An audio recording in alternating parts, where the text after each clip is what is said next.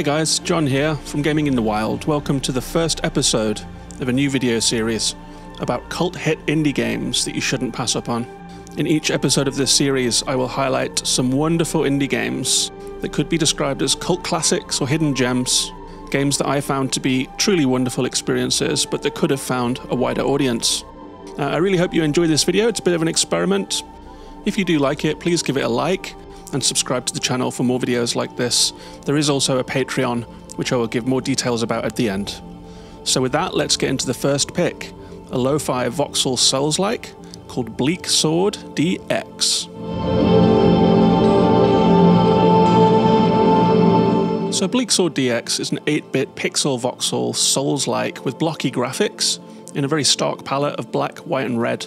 It's made by a solo developer from Spain called more8bit um, it's a game with small, tough arena combat levels, varied and interesting bosses, and some nice variation and surprises along the way. It is very tricky but very rewarding.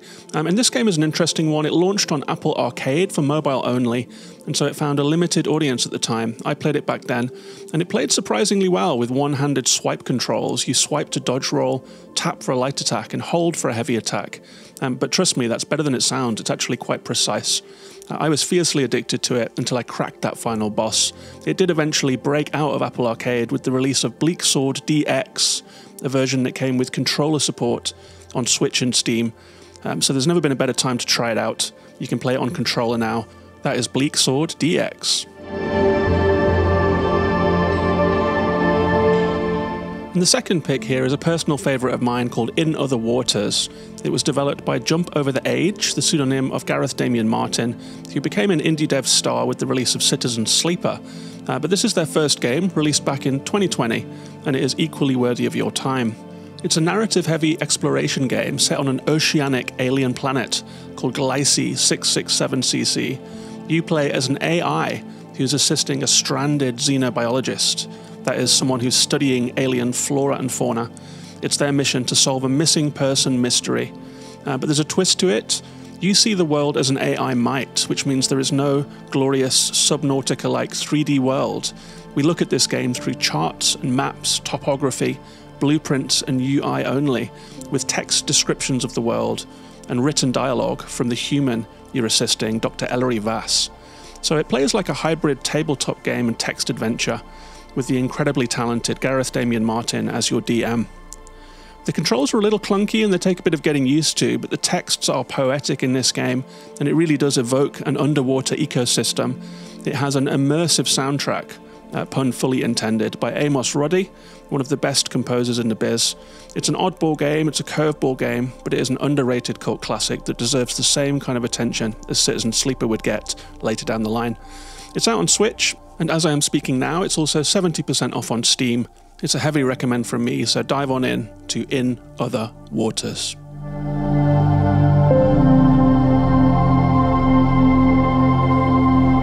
The next game I have for you is called Cloud Gardens. You might see a bit of a pattern forming here in terms of music being a core part of a game's appeal to me.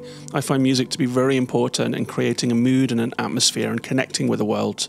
Amos Roddy did the soundtrack for this one as well. Um, it's a voxel based light puzzle game that's almost as much of a relaxing virtual sculpture toy. Um, you are presented with a series of dreamy pastel coloured 3D dioramas of post human environments like rail yards, bridges, and tower blocks. Each one has different seeds that you can discover and different planting spots. Um, you have to get to know the plants, where to plant them, how they thrive, and then you make them grow by dropping objects into the scene. Um, it's gorgeous to look at, very relaxing to play. There is something melancholic about it, but also beautiful. Um, as you rewild these desolate scenes, it's very satisfying and it's a very mellow, zen like game experience. So much so that it made my Games of the Year list in 2020. So it's a heavy recommend from me. That's Cloud Gardens, available now on Switch, Steam, and Xbox.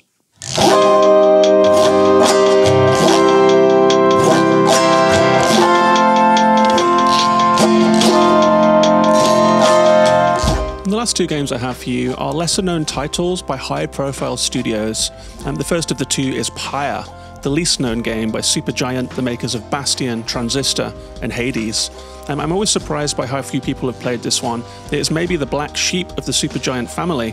Um, I like all of their games a lot, but I think Pyre is actually the most creatively ambitious and inspired game they've made. It is a hybrid party based RPG with the added curveball of a wizard sports sports game that you have to engage in. It starts when you're found by a group of travelers in a sprawling wilderness called the Downside. You are quickly drafted into their party and you embark on a journey together through a really colourful, intriguing world. And you get to know all the members of your party along the way, and you meet a lot of new ones. And as you make your way through the downside, you will play against opposition teams in bouts of the Rites. This is a fun three a side magic basketball kind of sports game you can win or lose each match and still continue, um, and it has a vast variety of branching paths that evolve based on your wins and losses and the character decisions you make along the way. Um, the endings are quite varied and account for every possibility. Um, there is even a versus mode if you'd like to play locally against a friend. Um, this game has astonishingly good visuals by the very talented Jen Zee and a Darren Korb soundtrack. I found it to be utterly engrossing, and the endings had some real emotional heft to them too. This game is often on sale for just a few bucks, so pull on your raiment, get ready to make some bog witch dunks, and play a bit of weirdo wizard ball in Pyre.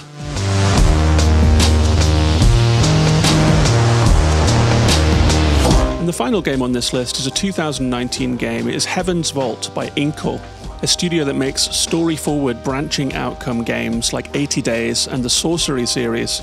Um, they pushed their formula further in Heaven's Vault. It's a sci fi investigation game in which you play a spacefaring linguist and archaeologist who is exploring a storied solar system. You travel between different planets, navigating a network of celestial rivers. You land your ship and explore sites of interest where you can walk around, investigate, talk to people, and along the way you discover fragments of an alien language and gradually build up your lexicon to try and understand ancient tablets and to get to the bottom of some secrets of an alien race that is long gone. Um, it's a very fun mini game. You learn to recognize and intuit the meanings of letters, uh, which can be challenging, but it's very rewarding. It's a really wonderful feeling when everything starts to slot into place. It really simulates that feeling of making important breakthroughs in your work. It's out on Steam, PS4, and Switch, and if you enjoyed games like Outer Wilds and Tunic, you might well fall in love with Heaven's Vault. So those are my first five underrated cult classic indie game picks. Um, I hope you enjoyed the video. Let me know if you did in the comments or if you think there's something I could do better. Um, I'd love to hear your cult classic indie game picks too. There are a lot of great games out there and we can all help each other find the really good ones that we might have missed. If you did like the video, please like, subscribe and share. Um, there's also a Patreon if you would like to support this channel for as little as a dollar a month. Um, you can get bonus episodes, and you'll also get an invite to the patron Discord to talk to me, suggest games, and meet all of the other patrons of the show. It's a really good time, a really friendly corner of the internet. There's a link in the description if you would like to do that. So, with all of that said, thanks very much for watching. Take care of yourselves and each other, and I'll see you in the next one.